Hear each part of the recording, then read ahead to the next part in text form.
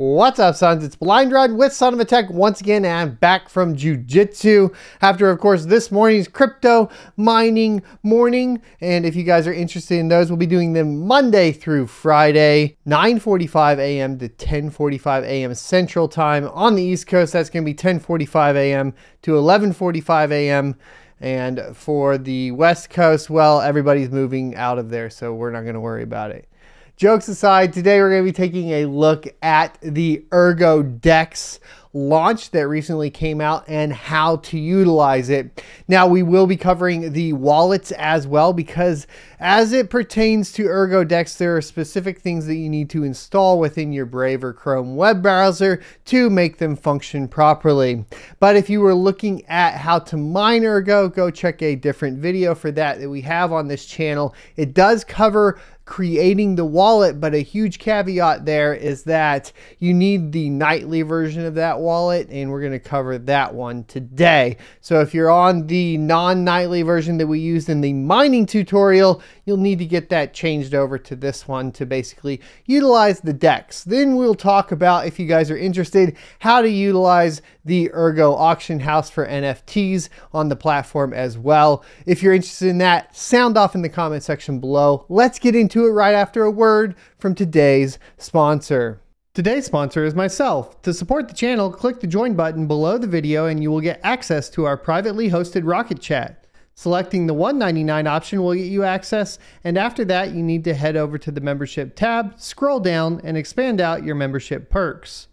Find the section for connecting on social media, and in that section, there will be a secret registration URL to join Rocket Chat, where you can sign up to enjoy talking with other cryptocurrency enthusiasts and miners without spammers, scammers, or bots. Welcome back. So, first things first, let's go ahead and hop into the UI and give you guys an idea of what's going on. Alrighty, so you do have a couple options here as far as settings. If you click the little ellipses in the top right, you can go into dark mode. Now, I know a lot of you guys like dark mode, so we're going to leave it in dark mode. Today's example is going to be in Chrome because I already have everything installed within my Brave web browser, but either way, it should function pretty similarly. You are going to want to make sure that you go directly to app.ergodex.io slash swap and that will be the official website linked down below. Be careful when Googling anything uh, related to decentralized exchanges or wallets because you could end up with one that is malicious that would steal your crypto. So make sure you always go directly to the links you know are the legitimate sites. Next, let's go ahead and click this how to use ErgoDex. This is a pretty quick and dirty uh, how to that gives you a step. And basically in order to start using ergodex you need to install the following two google chrome extensions. You got Yoroi or yori depending on how you want to pronounce it nightly. And then you have the dApp connector. You need to get both of these installed now it does make sense that the basically this version is being used because the nightly version is the one that is updated, well, nightly. So you're just going to go into the Chrome Web Store, click Add to Chrome, and then at that point, you are good to go. I like to come up here to the little plugin tab and then hit the pin so that it's ready to go right there.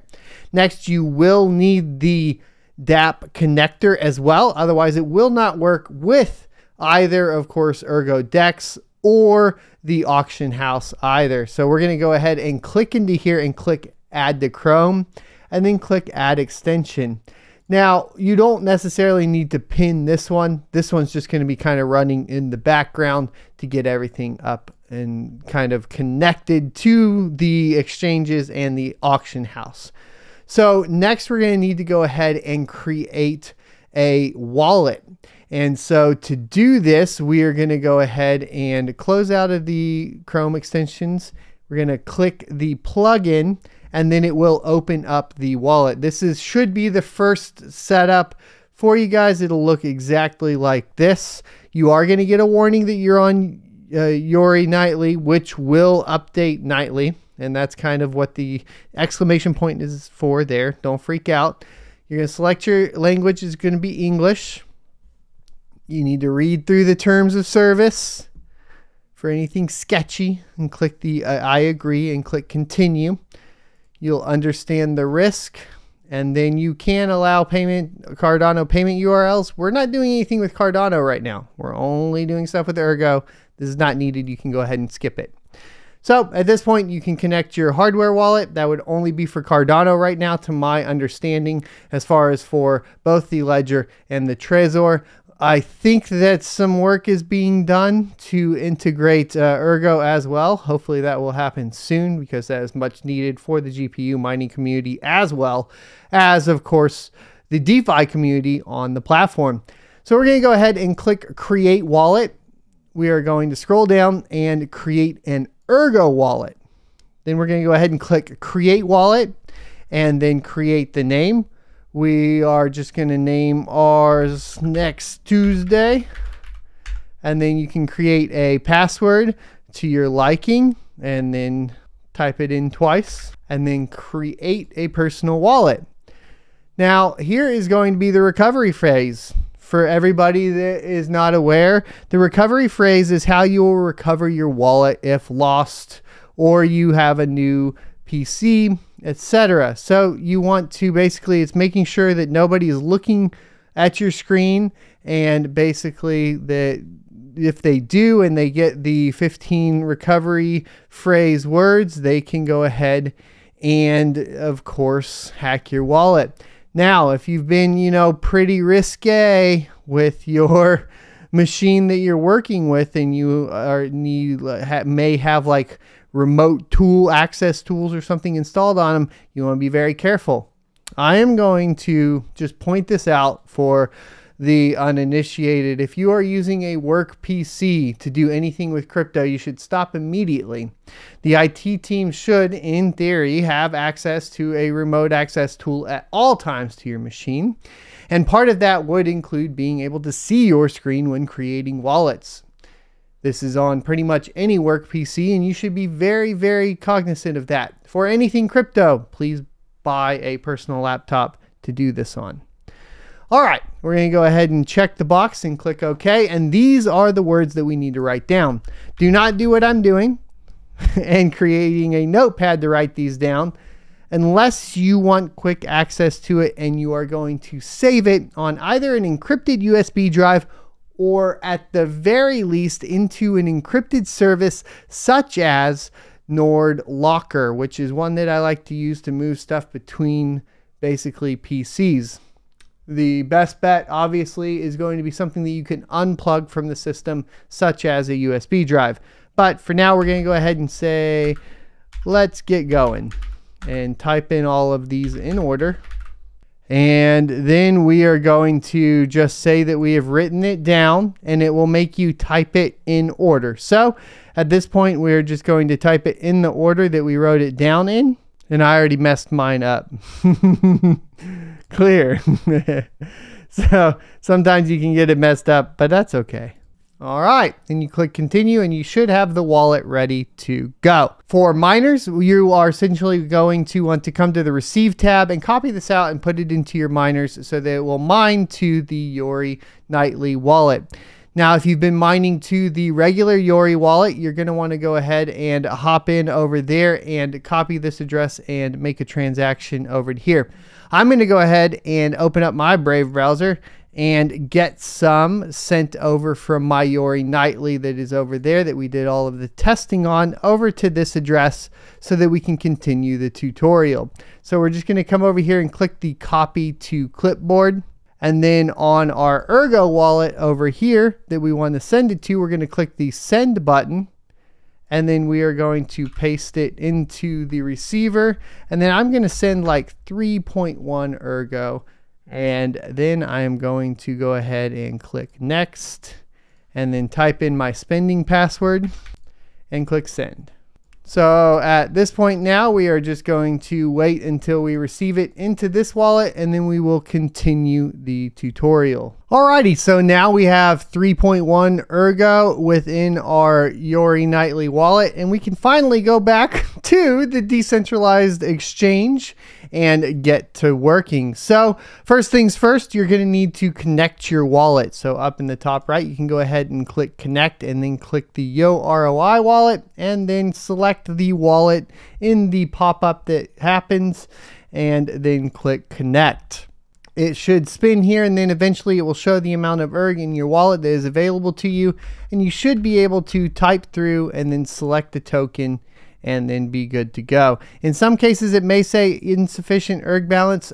This has been a little odd so I have had to either refresh over here and say I understand the risk and continue or I've had to refresh over here and then go ahead and select the token beforehand and then put it in. There's going to be a disclaimer here, and that is that essentially there is some bugginess going on with ErgoDex and it needs to be resolved. Do not put more money within or into ErgoDex than you are willing to lose. So disclaimer aside, let's get back into it. In some cases, like I said, it will start doing some weird things like this and you'll just have to refresh in the worst case, what I've had to do is completely close out of the browser and then go. But refreshes usually work. As you can see now, our balance is here within the swap. So now we should be good to go. So we can go ahead and type the one into here and then select our token, which we're going to go ahead and select the SigUSD. And that is basically the Ergo uh, stable coin. Now, this is an important stable coin because it does have a reserve as well. We're going to be covering the kind of relationship between SigUSD and SigRSV in a completely different video. We did cover it in Crypto Mining Morning. It's very important to understand the differences. It's awesome. I already am going ahead and adding liquidity personally to this, uh, both with SigUSD and SigRSV for the reserve. But all you really need to know is how to go ahead and get it swapped out. At this point, I'm just going to say 1.5 so that we'll get $13.92 in the stable coin and then $1.5 there. And then we can click the swap button.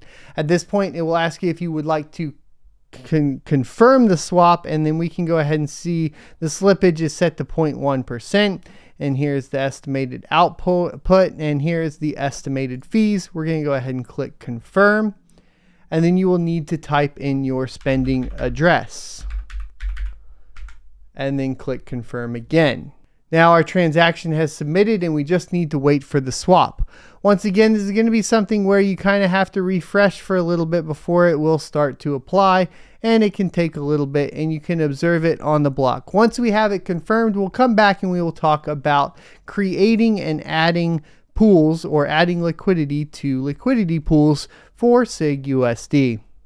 Alrighty, so you are going to want to go back to your wallet and confirm that you have the amount of Ergo you swapped for that the transaction has happened. As you can see here, we can see the transaction, we can see the amount of Ergo, and we can see the amount of basically SigUSD we have here, or at least, excuse me, the, the, the fees here.